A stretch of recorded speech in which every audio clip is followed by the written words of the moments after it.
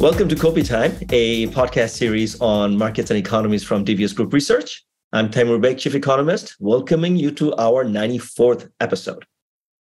As ex-staff of the International Monetary Fund or the IMF, I have had many friends and colleagues uh, appear in Kopi Time, uh, including Raghuram Rajan, Anne Krueger, Arvind Subramanian, Mark Sobel, but I've never had the pleasure of hosting a currently serving staff until today. Krishna Srinivasan is the director of IMF's Asia and Pacific Department.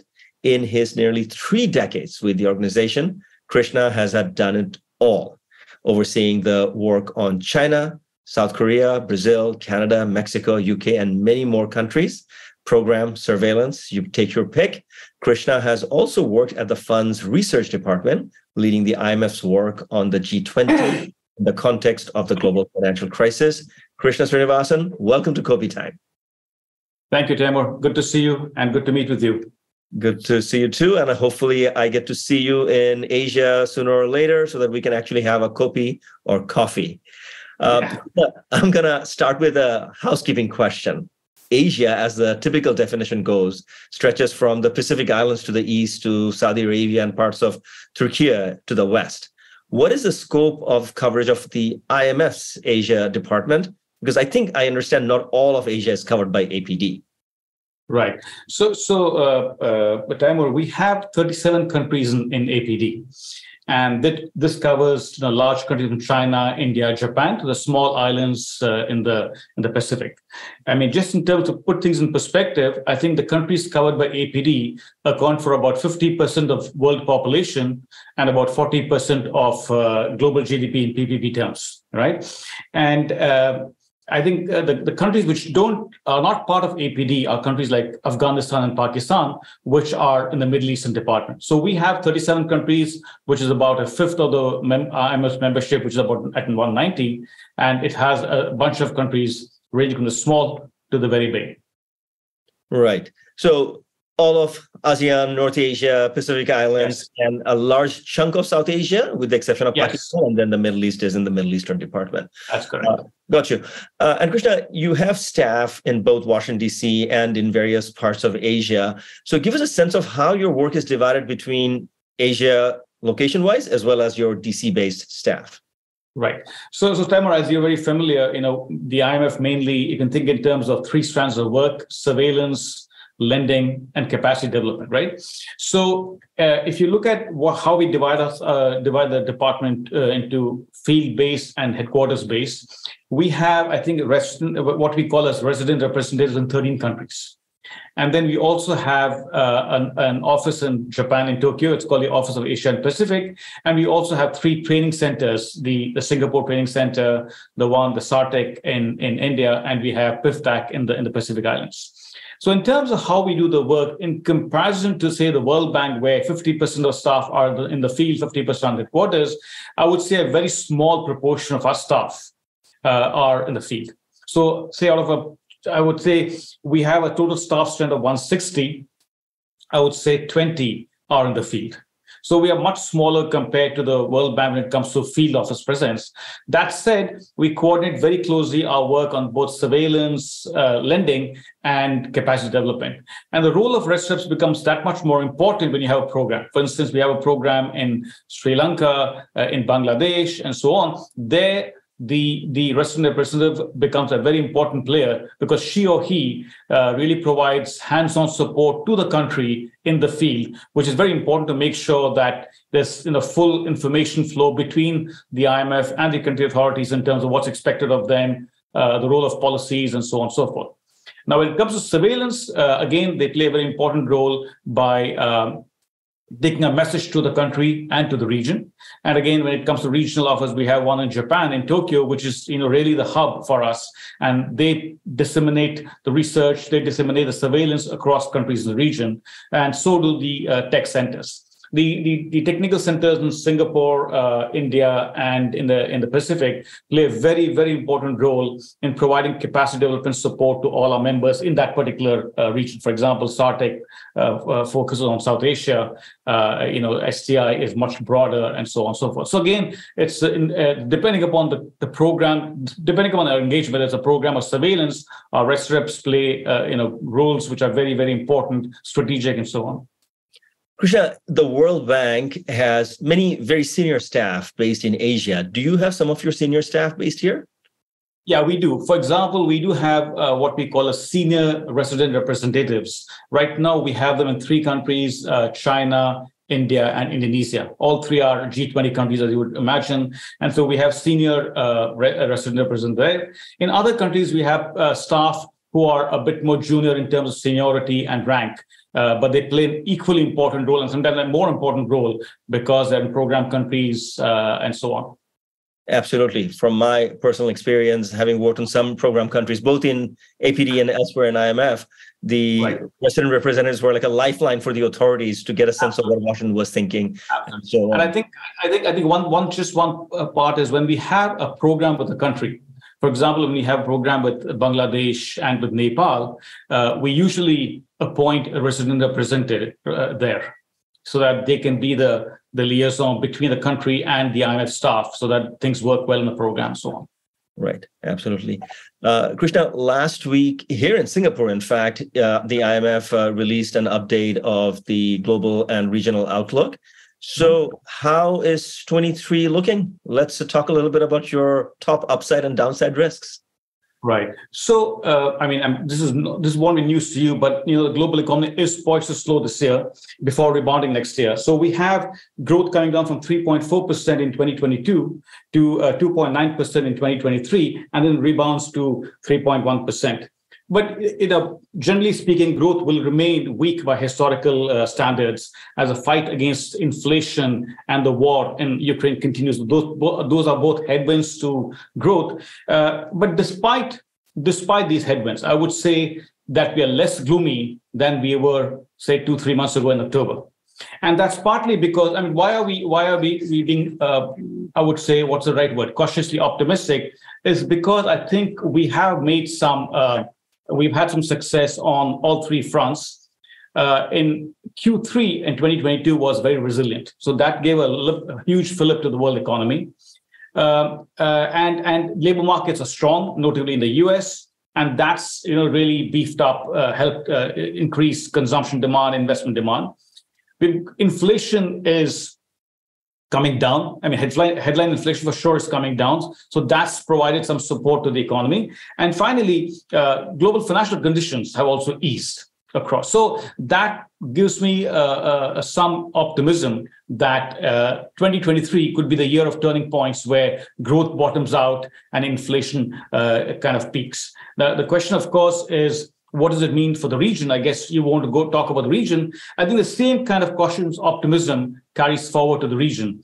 And again, if you would ask me what is something different this time around in, in Asia, I think the main thing is China, right? With China opening up uh, from it had a zero COVID strategy for a long time. It's opened up. In fact, it opened it's opened up faster than we expected, more quickly than we expected. So that's providing a huge boost to consumption, uh, so to, to growth this year. So in 2023, we expect growth in China at 5.2 percent uh, which is you know, 3% what is what we had in 2022, which was very low compared to Chinese standards, right?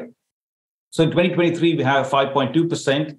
You, you add that to a, a slight uh, a slight uptick in our growth forecast for Japan at 1.8% and India at 6.1%. So these three countries are really the engine of growth uh, for the region and for the global economy. In fact, uh, Taimur, I don't know whether you notice it, but China and India together account for 50% of global growth in 2023 which is quite significant right? So i think that's the that's a story for the globe and for the region.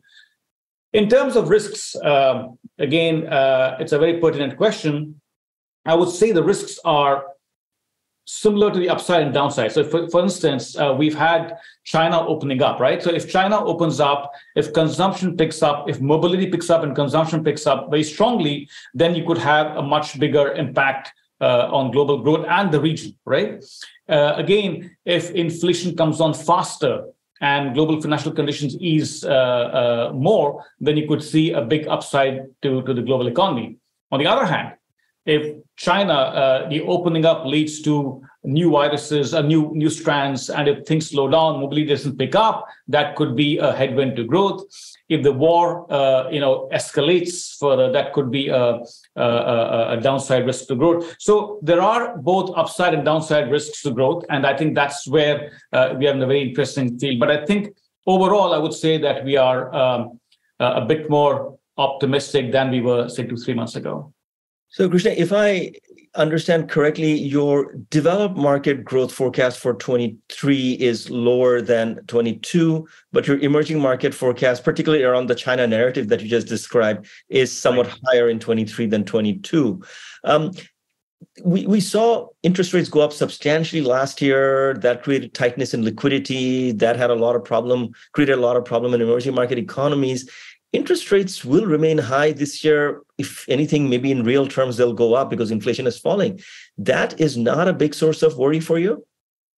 So, so uh, let me just uh, answer that question first. So, if you look at emerging markets, and in fact, if you look at emerging markets in Asia, you still have, you know, headline inflation has come down, but core inflation is still above uh, central bank targets. So the advice would be to stay the course, right? So that uh, inflation comes on a more durable basis, uh, because the worst kind of tax you can think of. So you want inflation to come down, core inflation to come down. So that is going to be a drag uh, on on some economies, right? At the same time, you also have the China factor, which comes into play. External demand is is improving in for some of these countries, so that provides some support. So on the one hand, you have uh, interest rates, which are likely to tighten, but you also have the China factor, which is going to give a big fillip to some countries, for instance, which are tightly linked to the Chinese market. Right. I think we are still, you know, uh, we still haven't fully absorbed the impact of what China's opening up means and the path of China opening up for some countries in the region.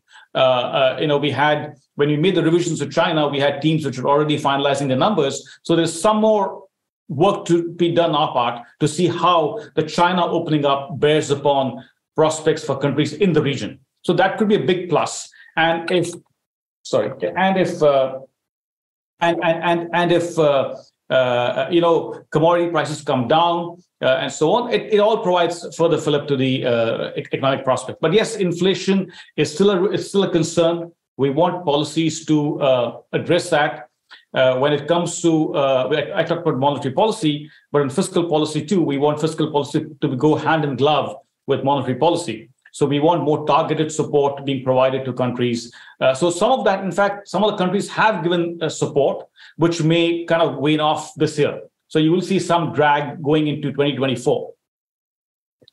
Right. So related to that, uh, we had to spend a lot of money on emergency basis in 2020 and 2021, and we saw debt ratios go up substantially at the sovereign level in many emerging market countries, and of course, substantially in developed markets as well. So the world's indebtedness is significantly greater today than a couple of years ago. You're advocating some degree of rationalization of fiscal positions. But um, I go back to my earlier point of interest rates going up in real terms this year. Does that worry you that maybe our absorptive capacity is not that much, given that how much debt we have added in the last couple of years? Yeah, I think. I mean, in fact, I would say, uh, uh, I think debt has gone up across many regions of the world, but particularly so in Asia right? I think if I if I remember num- the right numbers, I think it's gone from 25% to 38%. That's a big uh, increase in debt. And and and uh, you know our advice to countries as both in the near term, you have to provide support, but provide targeted support to the poor and vulnerable.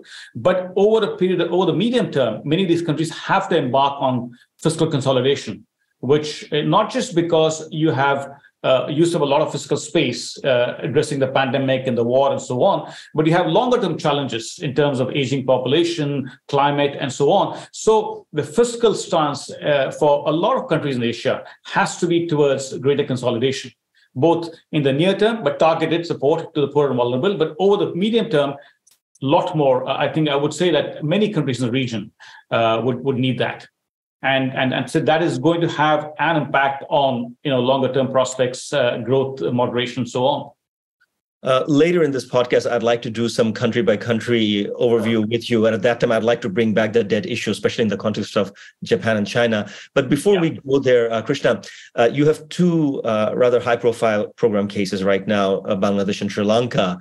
Uh, let's talk about those programs a little bit. So, so Bangladesh, we just approved uh, a program for Bangladesh, which uh, is a is a uh, think it's an ECF EFF uh, for I want to get the exact numbers right. It's about 3.3 billion uh, for Bangladesh, which is you know as, as you know, uh, or you've been in the fund. Uh, it's what we call as a, a full fund support program, a UCT program. On top of that, we also have provided uh, uh, Bangladesh what is called an RST, which from, from which we have 1.4 billion to support Bangladesh economic policies. Again, I must give credit to Bangladesh. They saw I mean, they were like many other countries in the region, many of the many other emerging markets. They were affected by the back-to-back crisis, the pandemic and the war and so on. So they did take a huge terms of trade shock, which uh, had a bearing on their uh, macro uh, stability, growth, uh, external pressure, and so on. So they they saw this uh, coming, and so they were proactive in reaching out to us for a program to stabilize the economy, to have uh, durable growth, and address more longer term structural reforms. At the same time, they, the, Bangladesh is one country which is hugely affected by climate change. And they were the first country to ask for uh, support under the Resilience and Sustainability Trust, which is a new instrument from the fund. Uh, it's a long, long-term uh, instrument. Right now, it's aimed at addressing climate change and pandemic preparedness.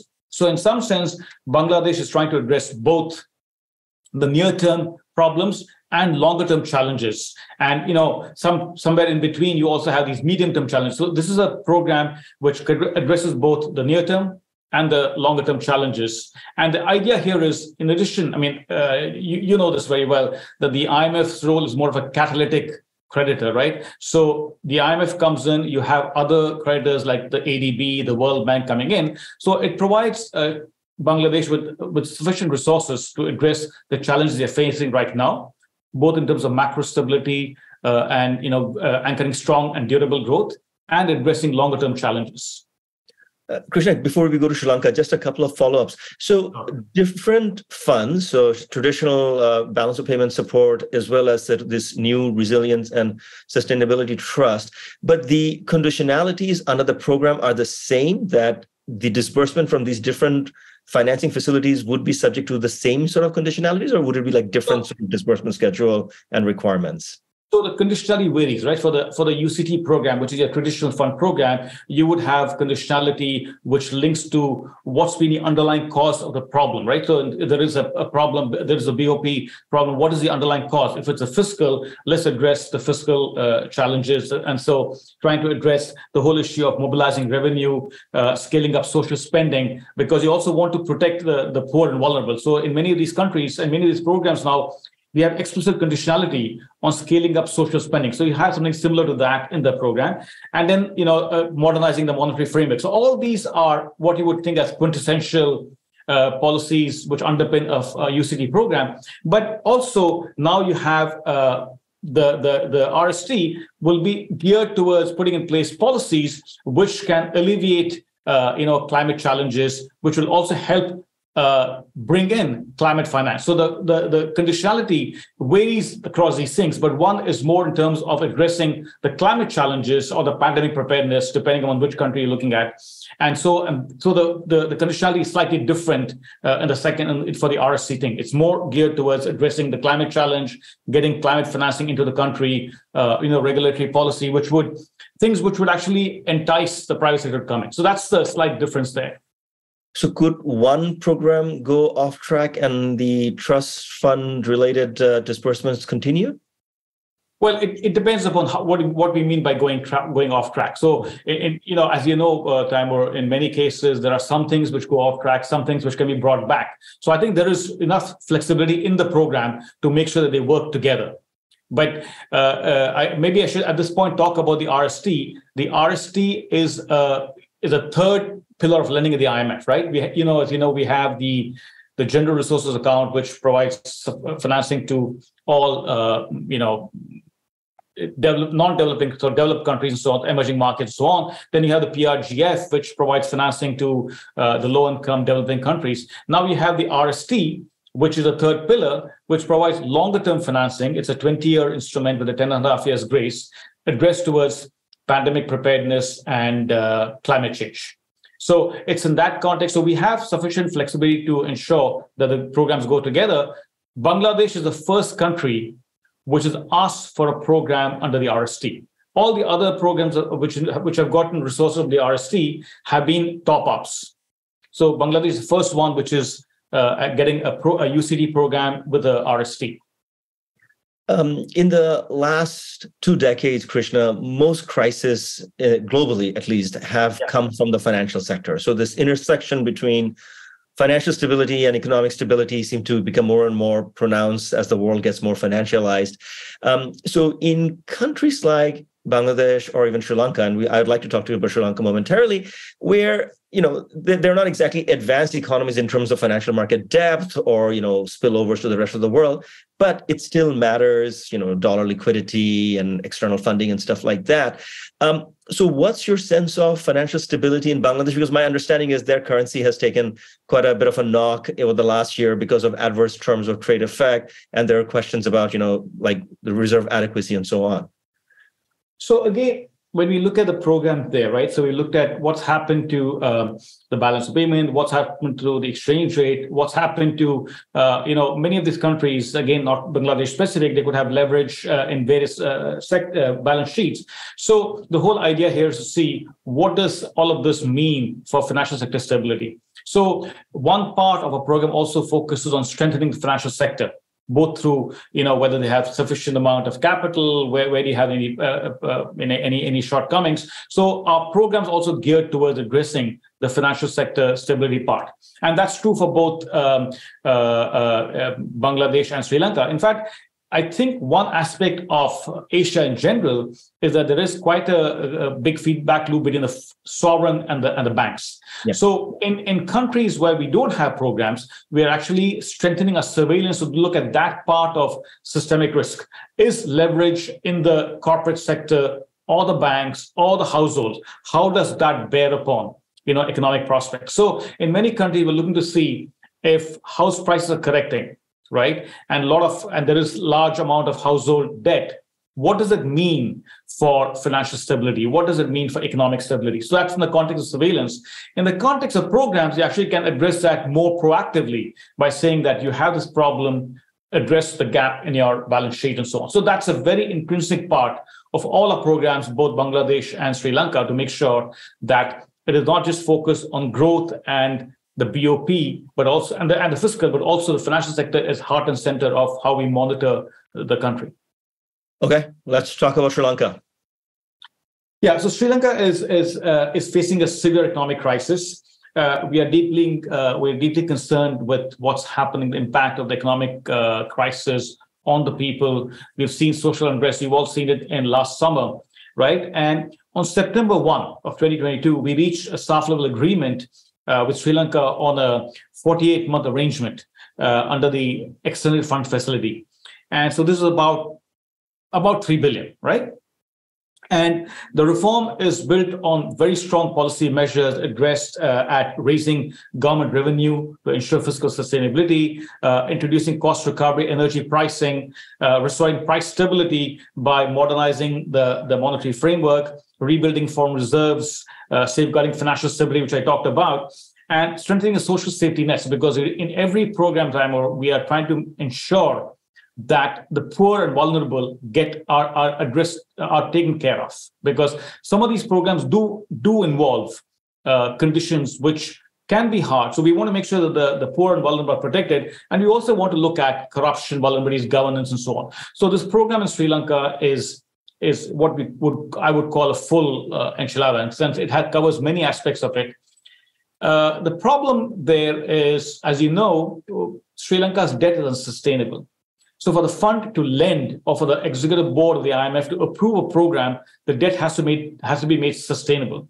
So we are at that point where um, uh, we are trying to get assurances from bilateral creditors, making sure that Sri Lanka is making good faith efforts with private creditors, so that debt can be made sustainable on a forward-looking basis. So once that is assured, we can go to the board uh, with the program for, for Sri Lanka. But that's where we are right now.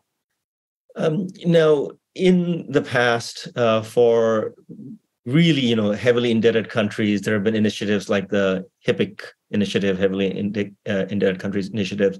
There have been Paris Club and so on. Um, the sort of sovereign debt balance of payments crisis that we have seen, not just in your APD countries, but elsewhere over the last few years, is there scope for a, sort of a multilateral roundtable like a Paris Club to deal with these things? Or life is a little more complicated? There are a lot of bilateral aspects which simply doesn't lend themselves to multilateral approaches.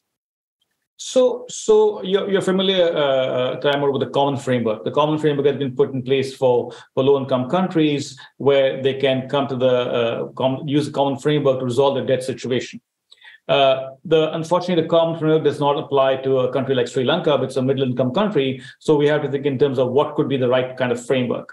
Now, you did talk about, you touched upon one one particular aspect. I mean, the world has evolved a lot since. Um, the HIPC and so on and so forth. Right now, we have we have countries which have which have debt to private creditors. They have debt to bilateral creditors, some of whom are in the Paris Club, some of whom are non-Paris Club. And then you have, of course, the MDBs and so on. So when you talk about debt restructuring, the complication hits is how do you coordinate uh, mm. the Paris Club creditors, the non-Paris Club creditors, and that's the kind of issue you deal with. You're dealing with in many countries. So at this point in time, we are working within the frameworks we have the common framework, common framework for, for low-income countries, which of course there are efforts to make it more efficient, more uh, expeditious, and so on. But also we have to think in terms of the frameworks we have in place to resolve debt restructuring, uh, debt problems uh, faced by countries like Sri Lanka. So we are working with that. In the case of Sri Lanka, we have all the creditors you can think of, private creditors, Paris Club creditors, non-Paris Club creditors, uh, MDBs, domestic creditors. So there are many, there are many creditors at play here. So we are trying to, um, uh, again, the fund cannot get involved in the debt restructuring process itself.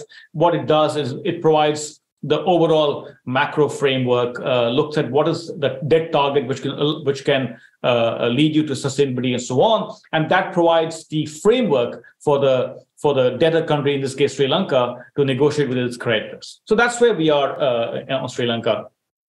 Very very interesting. Uh, so just to be clear the fund remains the lead agency in, as far as the sustainability analysis the arithmetic of sustainability that sort of forecasts and analysis and scenarios are prepared by the IMF when these sort of multilateral discussions are taking being taken are taking place? Yeah. I think it is one area where we have uh, a real competitive advantage is our debt sustainability frameworks are, are very uh, are very modern, state of the art. So we have a good uh, way to to analyze a country's debt situation to see when uh, a debt problem is sustainable, when it is not oftentimes uh, people will will you know it's not very obvious to the common person why do we judge one country's debt to be unsustainable and not the other one. But we have these frameworks which are very sophisticated which kind of tell you okay right now you may not be sustainable debt is not sustainable.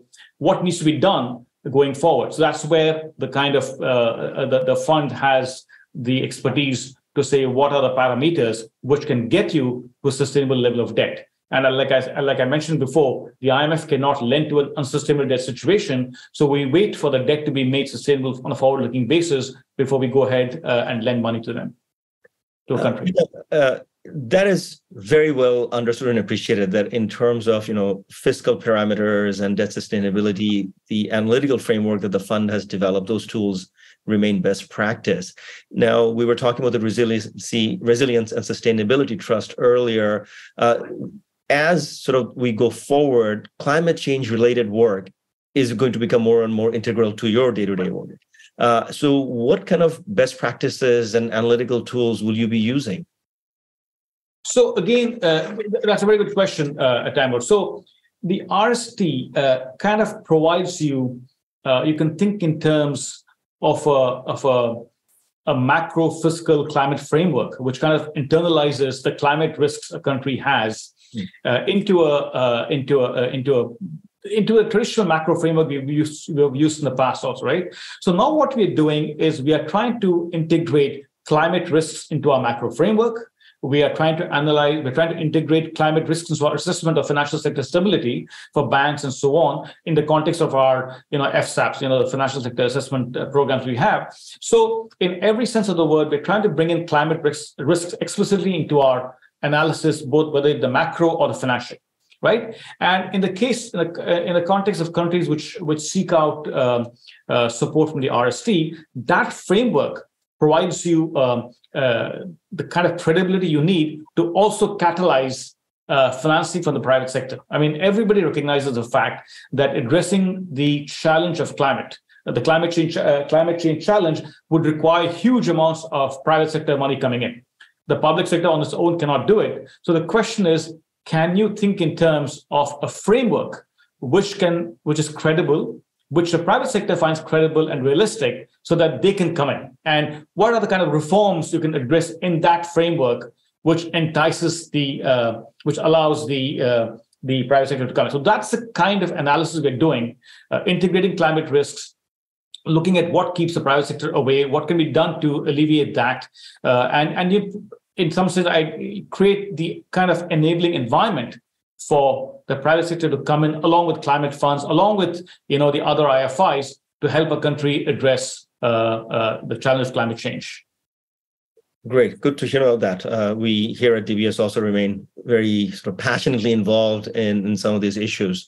Uh, yeah, I mean, Singapore has been at the forefront on this, and you guys also have been at the forefront of this. In fact, there is work ongoing at the fund on trying to uh, you know, work with the private sector to see how we could bring in private sector to address the climate challenge, uh, uh, climate change challenge. Right. Uh, you may not be aware of this, but I'm actually working with some of your staff on this issue too. Uh, you will see a working paper one of these days. Um, uh, Krishna, uh, you cover 37 countries in your department. I'd love to talk about all of them, but really not possible. So I have chosen a list of five countries that I'd like to discuss with you, and maybe we can go one by one. Uh, Japan used to be boring and has become very exciting in the last few months. Uh, so, what's your sense of yield curve control? What's your sense of Japan dealing with fiscal sustainability if indeed rates start going up?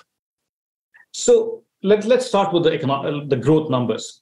So, uh, growth is 1.4% up uh, in 2022 uh, and it, it reflects a weaker external demand and the disappointing GDP, GDP outturn in the third quarter. I think Japan is one country where the third third quarter outcomes were weaker than one had expected. In many other countries, the Q3 was very good. In Japan, it wasn't the case. Uh, but then we forecast uh, uh, growth in 2020 to be 1.8%. And that's partly reflecting the fact that um, there is pent up demand there are supply chain improvements. Uh, the country is opened up uh, for after the pandemic, and there is broad monetary and fiscal policy support. So 1.8% is, I think we have revised our numbers from the from the uh, October World Economic Outlook. Now, inflation in Japan has also risen very high, and it's I think it's um, highest in four decades and so on. But our baseline assumes that inflation will come back to 2% by end 2024, right? So the question then is, um, uh, you always see this case in Japan where inflation can go up, but it comes below 2%. So there's never been the case where you've had inflation durably at or above the 2% target. So it's in that context one has to see the, the yield control framework. and so our advice has been to, to keep the monetary policy accommodation in place so that inflation can come back uh, to 2% on a durable basis. And that's where uh, a lot of discussion has taken place because they've had they have, they have had episodes in the past where inflation looks is coming up and it's quickly gone back. So I think that's the risk they want to avoid. So it's in that context one sees the yield control uh, framework. And, uh, you know, in the past several months, they have been buying a lot of the 10 year and five year JGBs. So uh, I think almost 70% of that is held by the central bank. So the question was some issues of market functioning and so on. So in December, they allowed the uh, the the the the, the yields to rise, and that's partly related to market functioning and so on and so forth. And that also the kind of flexibility you have there is good, just in case there is um, you know upside risks to inflation. This you know allowing flexibility is good in that sense. So that's what that's been our advice to them. And uh, in terms of the fiscal, you know, they have provided support, but some of the support has been not targeted. So, like other countries, we would also like Japan to provide more targeted support in the fiscal term, in, in the, in the in, sorry, in the near term. But going beyond that, I think they have a challenge in terms of uh, you know an aging population and longer term climate change and so on. So the fiscal going forward has to be uh, a lot more. Uh, there has to be a lot more mid-income consolidation. so that's the kind of uh, advice we're having in uh, for for Japan and you don't worry about debt sustainability given the large wealth uh, of, of, that nation so so at this point it depends upon the, the, who holds the debt also right? So in that context when you, took, when you talk about debt sustainability it's also looking at who holds the debt and so on. But you know one, when debt rises uh, uh at a very fast level you do worry about it. But the question here is that's why we're talking about you know have a very uh, well thought out credible and realistic medium term fiscal framework that can kind of anchor you know sustainability on a forward looking basis. Right um, krishna you have in your earlier part of your career devoted quite a bit of time to china and of course now that country probably matters as much as any other major countries in the world, be it you know U.S. or Europe or so on. Um, and and again, just like Japan, it's become rather interesting to follow over the last couple of months with the reopening. Uh, walk us through your view on China. So China, I mean, again, uh, like you said, uh, it's it's become very interesting to work on China, especially now with the when they when they lifted the COVID restrictions, they did it uh, you know, much faster than what anybody expected, what we expected before in, in, in, October 2022. And, and so that has implication, like I mentioned of, uh, at the beginning. So you had growth at 3% in, in at the end of uh, in 2022. And given the fact that it opened up the economy, we expect uh, you know mobility to return. Uh, earlier, we thought mobility and consumption would be returning, but much more backloaded. Now we brought all of that forward. So we have, uh, you know, mobility and consumption picking up uh, in the first half of 2023. So growth at 5.2%. And then uh, we I think we bring it down to 4.5% in 2024. Uh, again, in the case of China, all this is good, but they have some serious structural headwinds. I think one issue here is the real estate sector. On the real estate sector you know they it was the three red flags they had in terms of reducing leverage. I think that was good. That was spot on. But the question is that of course has led to contagion. You know started with evergrande and it's gone to other developers. We have not seen um, a coherent and cogent response to the real estate crisis and we feel a lot more can be done at the central government level and to, to provide support uh, to the real estate sector, which is a huge part of Chinese economy. And restore confidence in the sector. So I think that's in headwind. So despite the fact that they've opened up and the economy is picking up and so on, there is this structural, uh, there is this issue of the real estate sector, which kind of a, serious headwind. And going forward, we've also revised down our medium-term forecast for, for, for China to, to below 4%. And that partly relates to the fact that productivity has been coming down very sharply. Uh, and so they need to, you know, open up the economy, uh, you know, allow greater competition between the state-owned enterprise and the private sector and so on. So those things are work in progress. But given the fact that productivity has been on a secular decline, we've revised down our uh, medium-term numbers to below 4%. So that in a nutshell is a China story. Taimur, let me, let me conclude by saying that they do have the policy space this is a country where inflation remains muted, so they can provide uh, support. But what we've argued is more than monetary policy, the fiscal policy support geared towards boosting consumption, because that would that would really rebalance the economy. It would also help address the climate challenge they face. So, in some sense, this is something we've been telling them for some time, and they can do it, and they can provide more, more targeted transfers, boost consumption. But that's not happened. They're putting a lot more emphasis on on the public infrastructure side. So that's where it's making the imbalance, uh, uh, uh, you know, it's not correcting the imbalance you had. And that also can bear upon uh, how they address the climate challenge. That was going to be my follow up questions, and you just took it away from me. Uh, Krishna, one question on China, but not necessarily within China, but its external impact is related to inflation. So 12 years ago, when the world was going through a big global financial crisis, China was still growing robustly, and we saw oil prices uh, find a lot of support because China's demand was substantial. Is this reopening dynamic that we're seeing in China could be a source of upside risk to demand for commodities and therefore inflation in 2023? It could well be. Could well be. I, I, I we are looking at those. We are looking at that analysis right now. But uh, like I said, there's an upside to growth uh, from China opening up 5.2%. The question is, what does it mean for oil and commodity prices? What we've seen in the past is when China has grown very fast, commodity prices have gone up. That supported economies in Latin America where I used to work before. So the question is, can you will that be repeated now, or are there are there other mitigating slowdowns in other countries which overall impact maybe not so much? But I still think that is an upside risk to inflation. Uh, in 2023 and 2024, it all depends about how the rest of the world evolves. Uh, yeah, but that's that's a fair question. Yeah, the markets remain very relaxed about it, but we are somewhat uh, more worried than what the market-based indicators seem to suggest uh, yeah. out of this issue. So yeah, we'll have to watch that space, as they say. Uh, Krishna, India, everybody's favorite emerging market story, a lot of growth potential, but in the last few weeks, some corporate governance-related issues coming up to the fore. Um, tell us about your uh, assessment on India.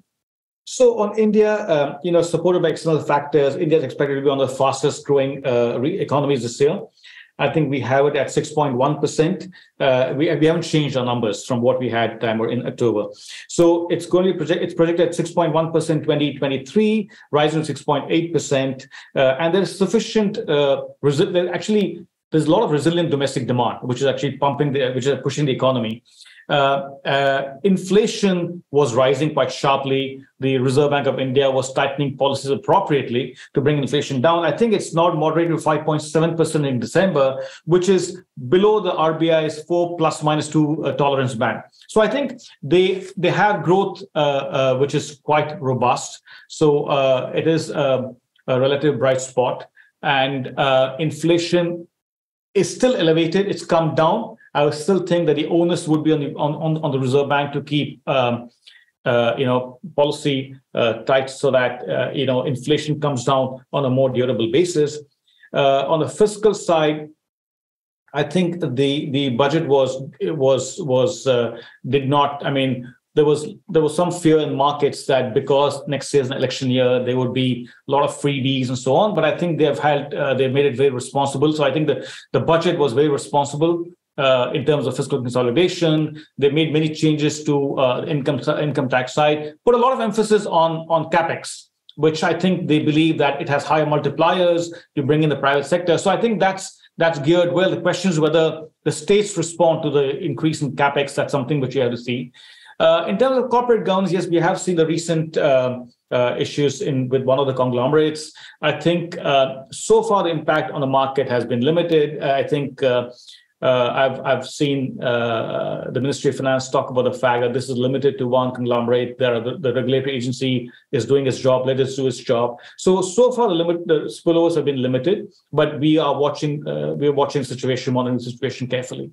And again, I think um, even for countries like India, I mean, there are medium term challenges. Uh, both in terms of uh, you know what needs to be done, social safety nets, uh, in terms of climate change. So the fiscal, they have to have a, a, a, a well fleshed out, credible, realistic, medium term f- fiscal framework. I think that's that would be really a big plus if they have that. But other, other than that, I think as, at this point in time, it is it is a bright spot. Uh, uh, you know, and along with China, accounts for 50% of global growth this year.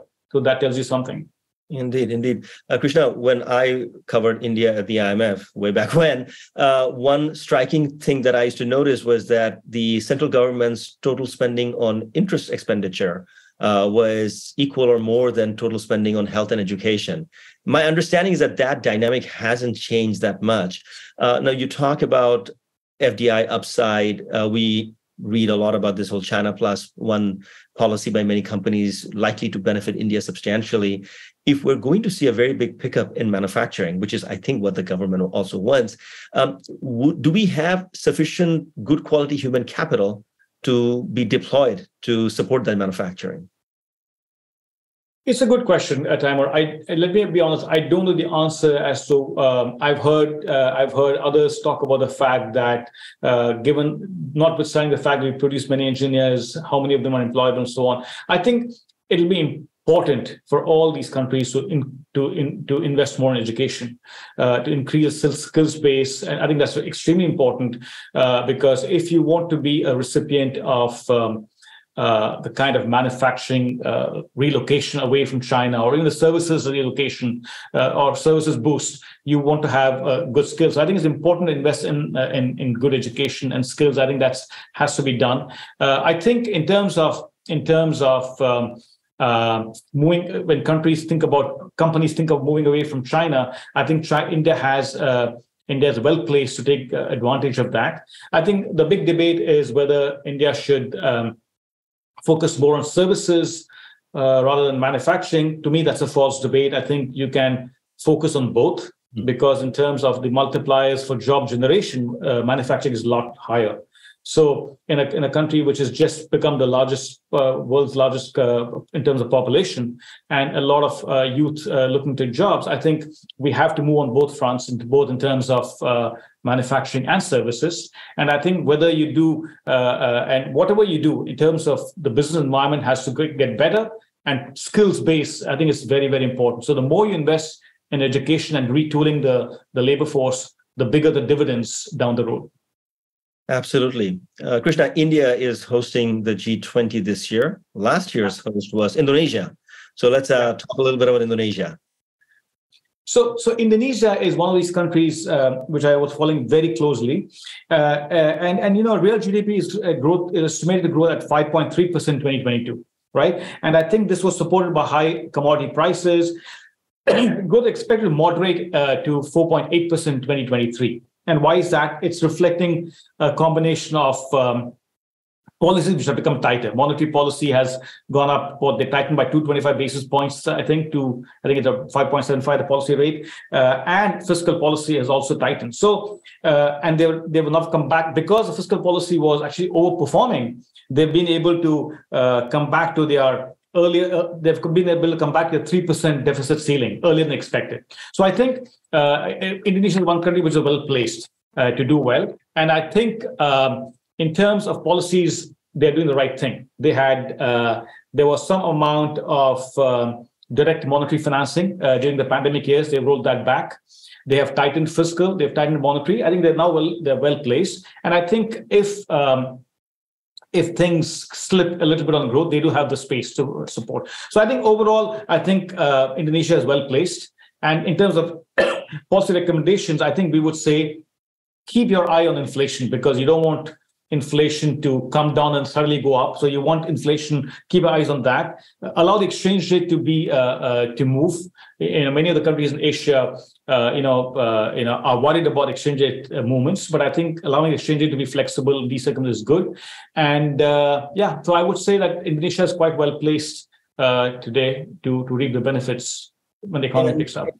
Perhaps drawing a thread from the conversation that we had on India, uh, what's your sense of their strategy to attract a lot of FDI? I've seen some headlines on the high value added on the metal sector and trying to become a hub for electric vehicle. Uh, so, are you observing some real momentum behind uh, structural policies to boost employment through investment in manufacturing? Yes, I think they are. They are using both the the climate debate and the durable high growth debate to move towards high value added sectors uh, and they are trying to see in a world where um, there could be uh, uh, capital coming out of China and moving to other countries. They want to be a recipient. So I think they're doing a lot of good things, good things there. And I think the overall macro also provides the key indicator, right, for any investor. So I think they're working on that. So I think overall, I think they are uh, uh, geared towards uh, doing well going forward. Okay, so we talked about four very large Asian economies with a combined population of around 3 billion. Right. I want to finish this conversation by talking about a country of five and a half million, my yes. own backyard, Singapore, where you have been to many, many times, Krishna, and I hope to see you there here soon again. Uh, tell us a bit about IMF's assessment on Singapore's current state. So in uh, I think Singapore, uh, I think we have the growth at 3.7% in 2022. I'm not sure it's changed a lot since we last did our forecast. And it is it was back on a positive surprise. I think consumption was better than we expected in, in the in the third quarter. Like I was saying, many countries did very well in the third quarter, except maybe for Japan. But I think Singapore, the third quarter came out very strong. So I think that kind of helped provide a uh, fillip to uh, growth, which came at 3.7%. We we forecast some slowing in, in 2023 and reflecting weakening external demands from some key trading partners. And I think the external headwinds are expected to weigh on growth uh, for, for Singapore. I think even domestically, seeing some of the major trade-oriented sectors like semiconductors are expected to slow a little bit because of what's the external headwinds. Uh, inflation uh, has been uh, rising quite rapidly because of transportation energy prices, but uh, I think headline inflation is about 6.2% uh, before falling to 5.8%. So inflation is on the higher side, and they have to keep an eye on that. So continue, uh, you know, tightening monetary policy. And I think in terms of the fiscal support, uh, you want to be make it you want to make it a lot more targeted uh, on uh, uh, and and uh, to address to go hand in glove with monetary policy. I mean, Singapore has enough fiscal space. So if growth really stumbles, then you have the fiscal space to provide support. But at this point in time, uh, I think this is uh, it's it's a it's it's a it's a beacon of macro stability, right? Uh, Singapore has always been. So I think they're doing the right things, uh, but uh, keep an eye on inflation, not you know witching away too much, and you know keep that focus. I think that's true for all of Asia, and we're seeing that uh, in particular because headline inflation is definitely coming down, but core inflation across the region, including these small countries, is about target. So let's keep focus on inflation and fiscal going hand in glove with with uh, with monetary policy. At the same time, recognizing the fact that some people need to be supported, provide the targeted support, and if things fall quite sharply on growth, you have the fiscal space. So you're on a you're on a kind of a good spot, I would say. Krishna, when you were talking about India, you made a very interesting point, which is you don't have to have a trade off between excellence in services and excellence in manufacturing. Singapore is a classic example where the country has consistently moved up the value chain and maintained a decent manufacturing footprint, even though it's very wealthy on a per capita basis. And nobody would be surprised if it became like Hong Kong, like, you know, almost all of its GDP comes from services. But the country chose not to. Um, I just want you to sort of think about this question in the context of China. Uh, you, as an organization, for decades have advocated that you know China focus more on consumption and uh, less on sort of heavy investment and so on. But the Singapore example, which is to hold on to manufacturing share of GDP as much as possible, would you recommend that to a country like China as well? That even if you get wealthier, um, don't give up on manufacturing, don't let it hollow out. So, so I think you can always move the value chain, right? So, I, I, you know, again, there's a personal view, or I would say that in countries like China and India, where you have a large population, you have a lot of youth looking for jobs. Just focusing on services may not do it for you. So, you have to think in terms of the the the. I, I think some of the work we have done. In fact, we're continuing doing more work to see, including in the India context, to see whether what is the the multiplier effect of you know focusing on manufacturing and services you clearly see the employment impact is quite significant. So i don't think countries have that choice. Again this is a very personal view. We're, look, we're trying to do the research here uh, that you have to uh, focus on both manufacturing. You don't. I don't see why you have to do one versus the other. Maybe you have a competitive advantage. India has a competitive advantage in services. At the same time, you also have a large labor force. You do have uh, you do have uh, a good platform to be manufacturing hub, right? If you do address some key reforms like labor markets, land, and so on, you could still be a, a, a place, a platform for manufacturing activity. So I think that holds. So I would not, I would not um, I would say that you can do both. I think it, to me, it's a little bit of a false debate. Yeah, it's a, a very, very interesting uh, piece of observation, Krishna. And I think there's definitely more work to be done given Asia going in myriad directions. Some countries are aging, some countries are youthful, some countries are very vulnerable to climate change, some countries have the great power rivalry to deal with. Krishna, I don't know if my listeners appreciate it, but I know how many different directions an APD director gets pulled. So I'm extremely grateful that you took an hour of your time to spend with me and my listeners. So thank you so much. You're welcome, Taimur. Always good to see you. Always good to uh, talk to you about issues. When I come to Singapore, we can exchange ideas on what we can do more in APD. Absolutely. And I'll see you in Washington, hopefully in April during the spring meetings. Uh, I'd like to conclude by thanking our listeners. Uh, Kopi Time was produced by Ken Delbridge. Daisy Sharma and Violet Lee provided additional assistance. This podcast is for information only and does not offer any investment advice. All 94 episodes of Kopi Time are available on YouTube and all major platforms, including Apple, Google, and Spotify. As for our research publications and webinar recordings, you can find them all by Googling DBS Research Library. Have a great day.